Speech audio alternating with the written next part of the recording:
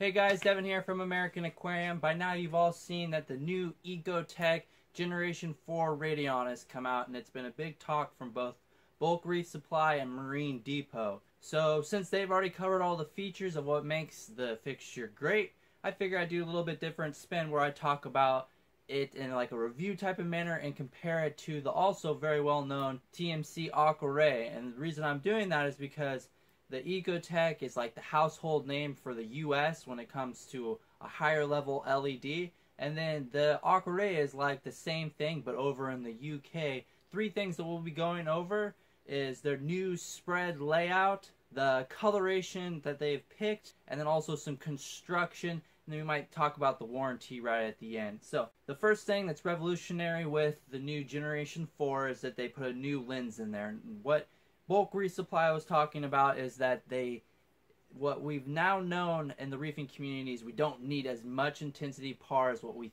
thought in the for the longest time and we've been having bleaching issues. Instead of now with these puck type LEDs where they're putting a real hot spot spread right under the LED's puck and then more of a like a less spread throughout the rest of the tank and just have real high intensity right under the puck they now have this lens that actually disperses the light throughout the tank and makes a much more even higher par throughout the front to back and side to side.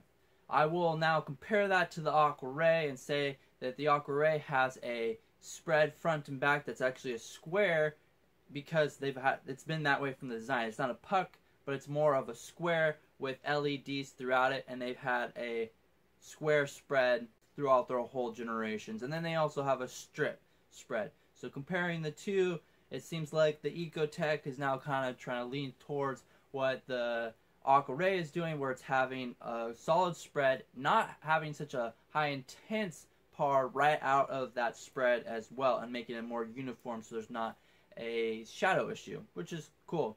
From the Ecotech, I'm seeing numbers around 200 par throughout spread, from the Aqua Ray, you're going to get about 150 to 200 also, and we're finding we can even grow the hardest corals, the hardest plants with that spread throughout. Next is coloration. Ecotech added some warm white was the one they're talking about a lot, and the violet. These you have to I believe the violet, ultraviolet, is something that you get in the pro feature. They're also talking about a photo red. What they mean about photo red is that it's going to be the peak that's best for chloroplast A, B, eh, to make the plant corals grow. And so it's just at the right spectrum.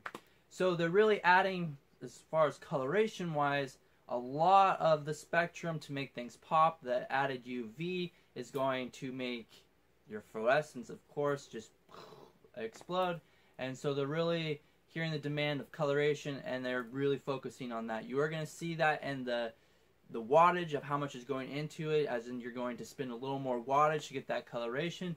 The Aqua Ray, what they're doing is, and what they have done for their first generation is they actually have different fixtures with these different colors, and you can actually pick the colors based on if you want coloration or growth, and depending on how you want the tank to look. So there's a little bit different design there where they've now got they got 13 different fixtures you can pick from based on your coloration. The Ecotech is kind of like allowing you to you have all the colorations and then you can go in their Eco Smart program and really pick the colors that way, but it's all from one fixture. So there's the two. Give it to you guys of how you'd like. I mean, coloration in both, just depending on what you want to do. Okay. Last thing is the construction, which comes down to the fan. They really redesigned the fan so that it's supposed to be a little bit more quiet. It's kind of a sleeker, more compact design. What they're saying and it's more of an act. It's active. The other generations were active as well. So when it needed the the temperature was getting too hot, that fan would activate. Their hope was that it's going to be a little more discreet. The Aqua Ray doesn't have a fan. In fact, there's a reason for that because if you construction wise have moisture, it's high humidity, and they're wanting to make sure that these components in the fixture are staying protected.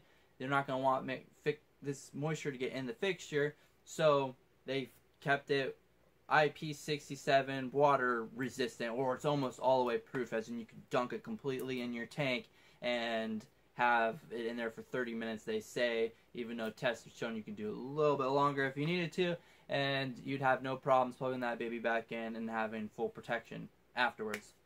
Uh, last thing I want to talk about is the warranty, which really does give you some good idea of overall quality of the fixture.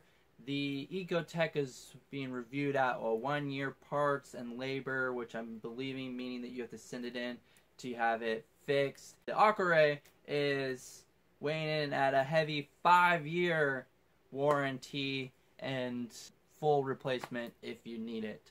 So that's a really nice perk about that and actually is going to give you long term protection of your fixture since we're using these computers over a high humidity area and if there's ever an accident you've got your protection long term that's the point of it. Uh, of course i've got my own bias but i'm putting this out there as a reviews. Most uh, level as i can just like the Bulk Reef Supply and the marine depot is doing their review of it and this is me just comparing the two and letting you guys know that the options are out there. Both are great fixtures. I prefer one professionally over the other just because I need that assurance long term and I need to have a qual, you know, real solid made fixture that's going to be protected. And that's what we've used on customers' tanks, hundreds of tanks so we we lean more towards one. Of course, you guys can see my bias. I want to bring that to you guys. Compare the two, the Ecotech Generation 4 compared to the Aquaray line, the 13 different fixtures for all your growth and coloration needs, all the way from your freshwater, anything you want, low tech to high tech tanks, all the way to your just fish only marine tanks to advanced street. So as you guys know, I appreciate you guys so much taking a look at my videos. If you have any questions, please ask, like, subscribe, share.